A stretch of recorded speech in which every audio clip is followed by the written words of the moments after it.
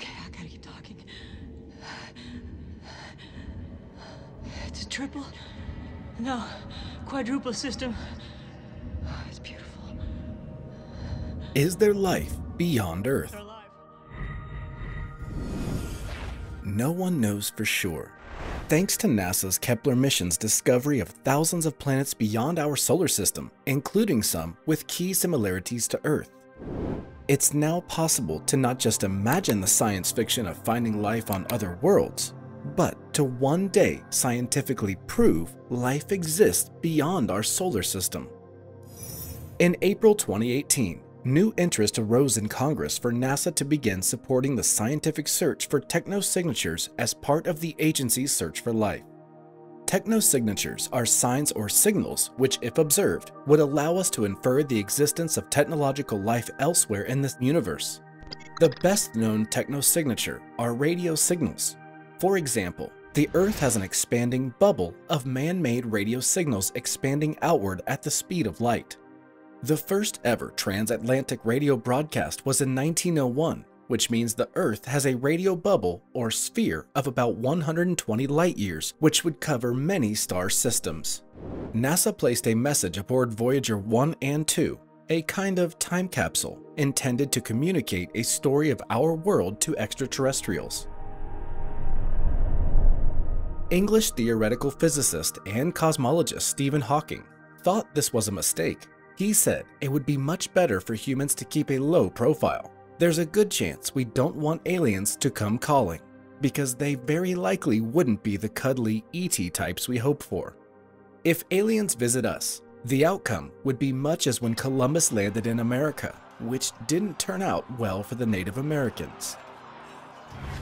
I would say that the Stephen Hawking argument assumes that aliens will behave the way we know we would treat one another, using we as an example for they.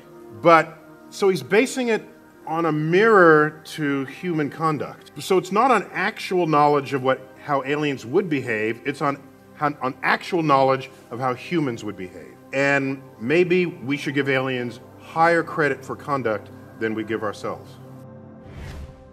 Debate about the probability of finding signals of advanced life varies widely.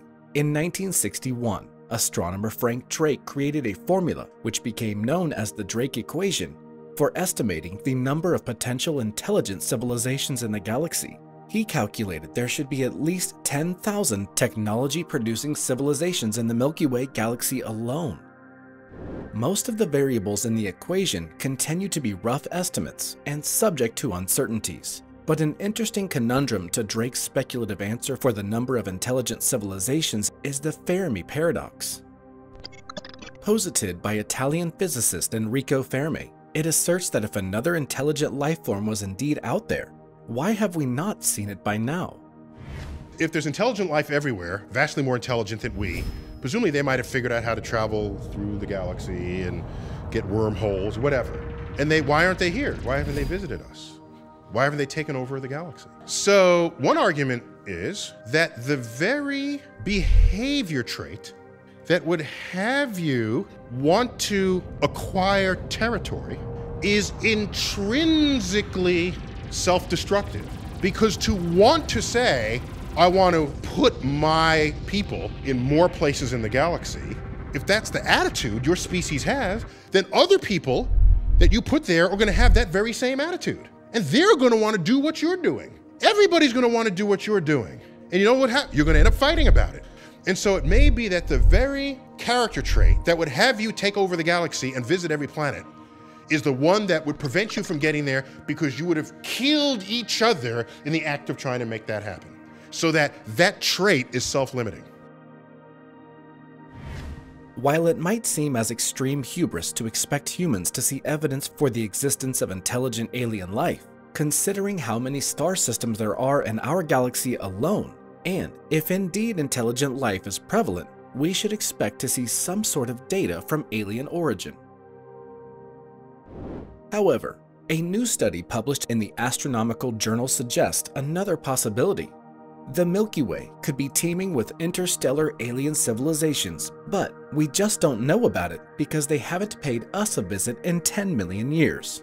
It posits that intelligent extraterrestrial life could be taking its time to explore the galaxy, harnessing star systems' movements to make star hopping easier.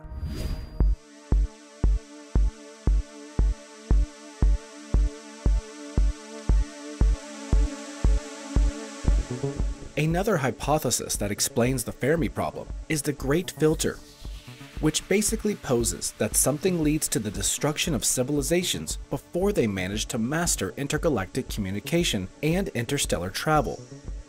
Even if we knew for certain the Great Filter is a correct theory, we still wouldn't know when or at what stage of life it emerges. For example, a great filter could be acting to prevent non-living matter to undergo abiogenesis, which is the first stage of life.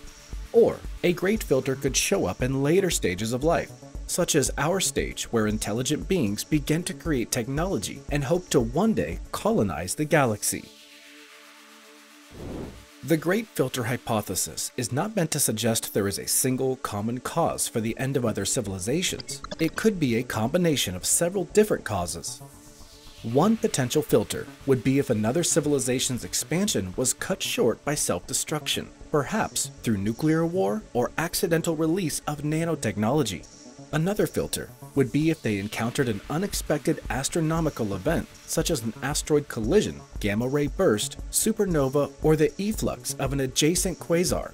An extraterrestrial war is another suspected cause. If a great filter is in the later stages of life, one, it would mean that our civilization has yet to encounter an extinction level event that will most likely destroy us, and our chances for galactic colonization are slim to none. And second, it would mean that intelligent life in the universe is extremely rare, even if life in general is prevalent.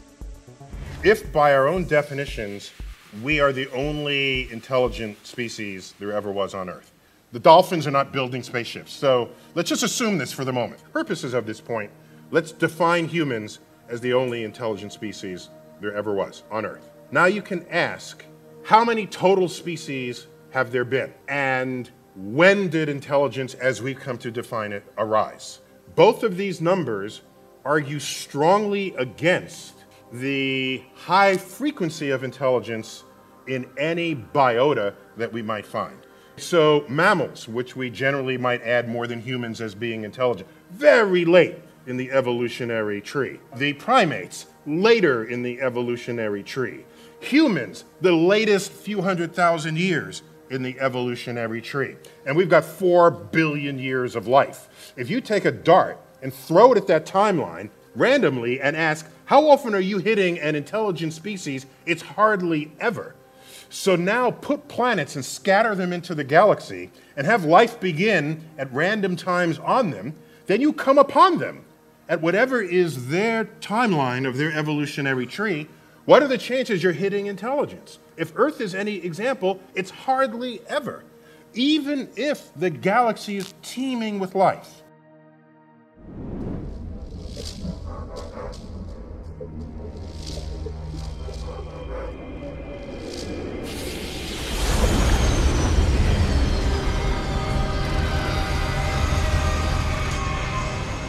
A growing number of scientists and public thinkers are beginning to label the advent of digital superintelligence as the biggest existential risk to humanity.